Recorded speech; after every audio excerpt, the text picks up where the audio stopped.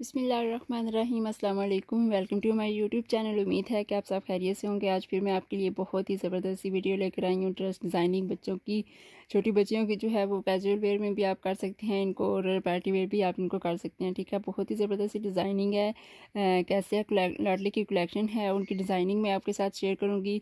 इनका फैब्रिक भी बहुत ज़बरदस्त है, आप आराम से इनकी स्क्रीनशॉट लेकर घर में जो है आप इनको स्टिच कर सकते हैं। तो आइए हम अपनी वीडियो को स्टार्ट करते हैं। सबसे पहले जो है ये आप देखें, मेरे पास जो है ये येलो में है।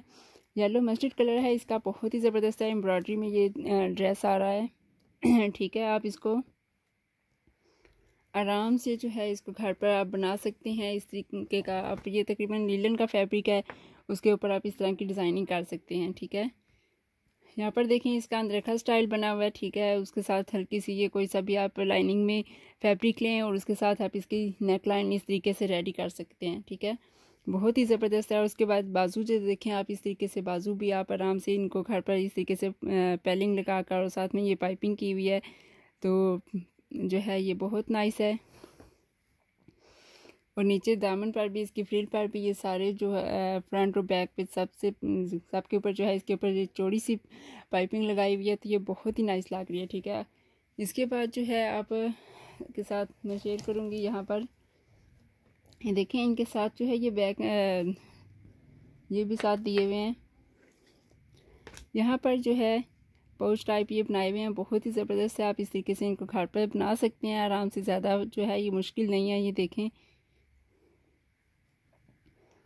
लेकिन जो है सभी ड्रेसेस के साथ इस तरह के उन्होंने दिए हुए हैं, लेकिन मैं आप इनको बाय भी कर सकते हैं, लेकिन यहाँ पर नहीं, मैं आपको जो है, अगर आप बाई करना चाहें तो मैं आपको लिंक जो है उनका सेंड कर दूँगी, लिंक डिस्क्रिप्शन में मैं आप ऐड कर दूँगी तो आप इनको बहुत ही रिजनेबल प्राइस में जो है आप इनको बाई कर सकते हैं, ऑर्डर कर सकते हैं। तो यहाँ पर आप देखें नेक्स्ट जो है मेरे पास ये तकरीबन वन ईयर बेबी का है, ठीक है, ये राउंड नेक लाइन है और ऊपर इसके ऊपर ये देखें बिल्कुल सिंपल में ये प्रिंटेड इसी के साथ मैचिंग में है, लेकिन इसकी ये जो पैच सा बना हुआ है, इसको इस तरीके से अटैच करके फुल बॉडी के नीचे और ये बाजू के ऊपर लगाकर और हल्की सी साथ ये जो गोटा पट्टी की, ये हल्की सी छोटी बारीक सी जो लेस है इसको अटैच किया हुआ है और ये सिंपल सा फ्रॉक है, लेकिन बहुत ही ज़बरदस्त लग रहा है।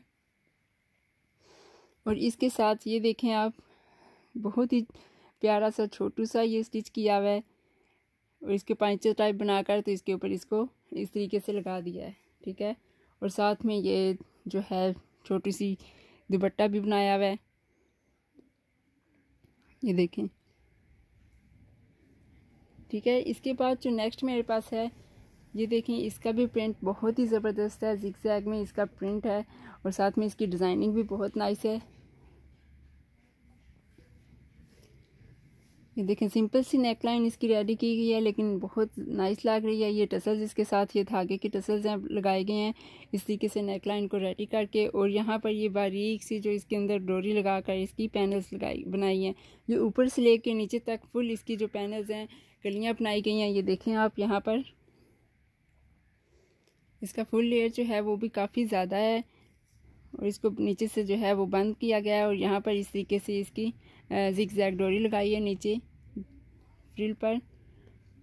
और इसके साथ ये बाजू भी देखें आप, जिस तरीके से ये नेक लाइन पे बारीक सी बनाई है, लेकिन यहाँ पर जो है इसके ऊपर चोरी चौड़ा पैच लगाकर और साथ में ये भी छोटी सी जो है ये लेस इसको गुम करके लगाया गया, ठीक है? बहुत नाइस है, इनकी डिज़ाइनिंग आप आराम से इनको घर पर जो है वो स्टिच कर सकते हैं। इनकी स्क्रीनशॉट लेकर तो इंशाल्लाह नेक्स्ट वीडियो में आपके लिए बहुत ही ज़बरदस्त डिज़ाइनिंग मैं दोबारा से आपके साथ शेयर करती रहूँगी। मेरी वीडियो को लाइक करें और मेरे चैनल को सब्सक्राइब करें और शेयर करें। नेक्स्ट वीडियो तक के लिए अल्लाह हाफिज़।